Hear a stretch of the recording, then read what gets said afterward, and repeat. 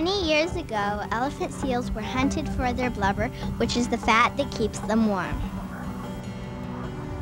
There was only a few seals left when people started protecting them from hunting. Today, elephant seals are making a comeback, and there are thousands of them that live in our oceans. There are only a few places you can see elephant seals, and one of them is Año Nuevo State Reserve in Northern California. Here, the elephant seals come out of the water to mate, have their pups, and shed their old skin.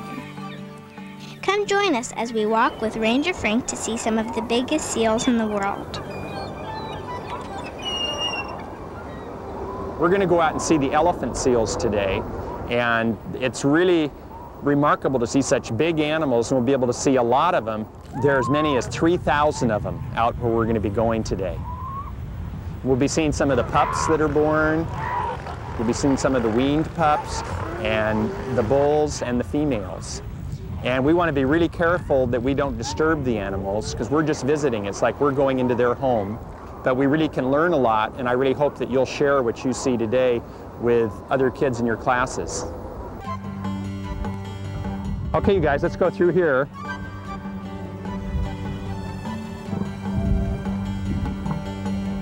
Look at that big bull in there. Oh, look out here, there's some more bulls up here. Come on with me. How can you tell which is a female and which is a male? Okay, how do you tell the difference between the males and the females? The males are much bigger and uh, the females are weigh a lot less. And what else is there between the males and the female? What have you seen so far that would let you know that it may be a male? Uh, males might have um... have a big nose. Yeah. Yeah, we call it a proboscis sometimes. They have a big nose, don't they? And the females have a much smaller nose. And anything else about the males? You can see they have a chest shield by their heads. You can see that area that looks like the callus-like area on their chest. The females don't have a chest shield, just the males. And then when the males do a lot of fighting, sometimes the chest shield will get bloody. Maybe we'll see that later. Sometimes there's some blood. But usually they don't kill each other or really hurt each other. Usually it's until one backs away. Why do they keep um, throwing sand on their backs? I mean, it's really unusual. Yeah, they, they like to flip sand. That's part of being an elephant seal, is flipping sand. And we think they do it more on hot days. So they probably do it to keep cool. And they also do it maybe to protect their skin from the sun, putting some sand on their backs. Out there you can see a pup. See, the pup is black, and it's with the mother, with the female out there. So it looks like the pups turn from black to just a sort of grayish color? They do, yeah. The pups, when they're born, they're black. If you're wearing a black coat, you get hotter. And so the sun comes down on the black and it absorbs heat. But when they're a big fat weaner and they turn silver, then it reflects the light away and they stay cooler.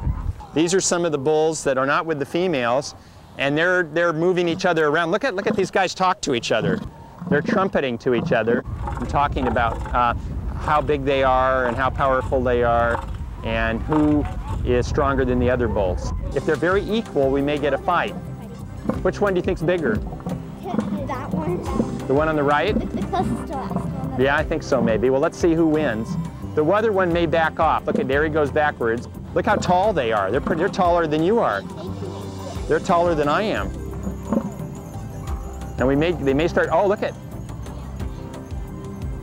now see that one in back? He just pulled in his nose. Now he's backing away. He pulled in his nose so he'll look less dominant. And he's trying to get out of there.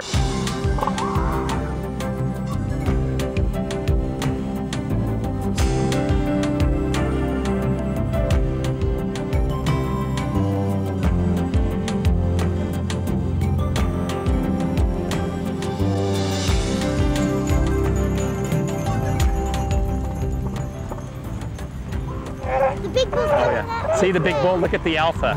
That's the biggest bull right there. The males will have a big group of females, and we call it a harem.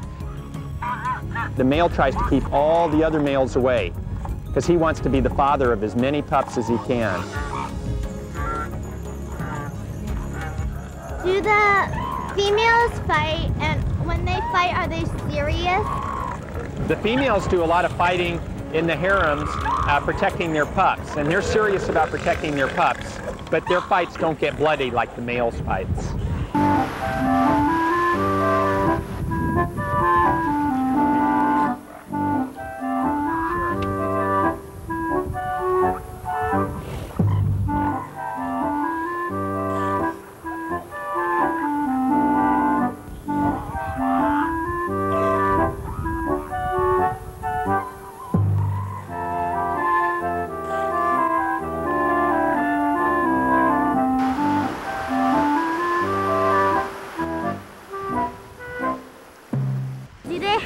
Brothers and sisters? There's only one pup per female, so they don't have brothers and sisters, but they may all have the same father. Hey, do you see this pup right here? That's a weaner. And a weaner is a pup whose mother has gone out to sea and he's on his own. A pup gets four weeks worth of milk, gets to nurse for four weeks, then the mother goes away, goes out to sea because she has to go out and feed. And so this weaner is on its own now and it's about uh, five or six weeks old. Don't they teach them how to swim or anything? I mean, No, they have to learn on their own. What they get is all that milk so they get big and fat, and now he has to convert it to muscle. He may be looking for another wean pup to play with. They like to play a lot, and it's important that they play because that helps them to develop their muscles so they can be strong and learn how to swim. So he's probably looking for another weaner to play with. In fact, I see a weaner back behind us. Look back there. See? Maybe he's going back to play with that weaner. so maybe we should move over. Sure, let's go back here. Okay, what do we have in front of us here? What do you see there? Well, looks like a bunch of little babies, like weaners Uh-huh. maybe. Yeah, they're, in fact, you know what we call it? A weaner pod. It's a pod of weaners. By getting together in a pod, in a weaner pod, then the big bulls and other animals may stay away from them. So it helps to protect them. By being a group, it looks like they're bigger and it sort of protects them by being together. Look at him there, one scratching himself. Look at with his flipper, he's scratching. They can reach any spot on their body with their flippers. What do they eat? they'll go for a month or two without eating anything. And they'll be going out to sea and eating small fish and skates and rays and squid. Well, I really want to thank you guys for coming out today. It was fun having you here. And I really hope that you'll tell all your friends about elephant seals and what remarkable creatures they are. And I hope you'll come back again.